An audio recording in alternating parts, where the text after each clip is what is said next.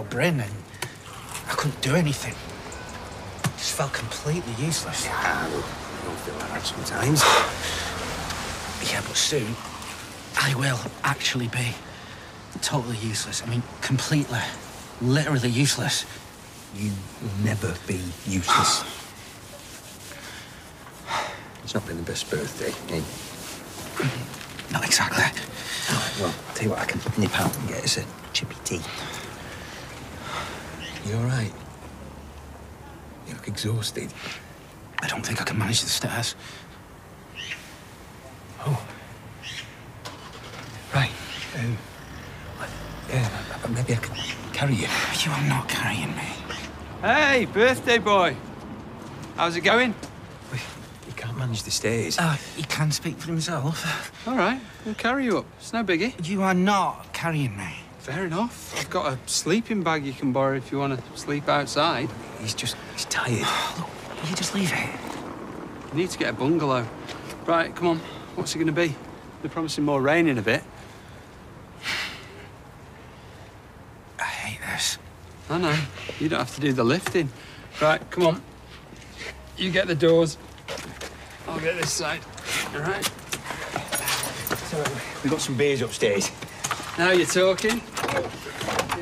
Yeah. Yeah. Yeah. Yeah. Yeah. Where are we going? Sofa? Yeah, I'm good, I'm good. Here we go. You all right? Mm-hmm. Yep. Go on.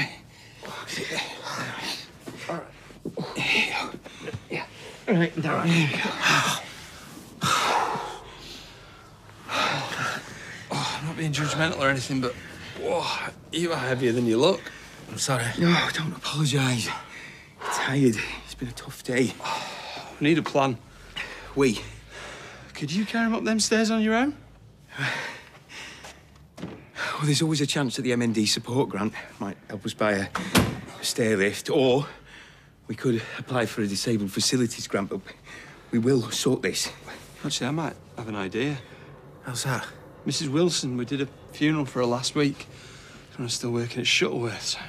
Anyway, she had a stair lift. Could contact the family, see if they do us a deal. Nothing says Todd Grimshaw more than planning to rip off a grieving family of their dead mother's stair lift. Hey, he's only trying to help. We'd pay a fair price. And what else are they going to do with it? Brides for the kids. You need to lose the halo, you do. Paul needs this. He's right.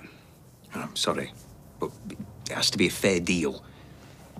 I promise. Hang on. What's this about you not working for Shuttleworths? All right, someone promised me a beer, so you keep up your promises and I'll tell you about my latest career move. Okay.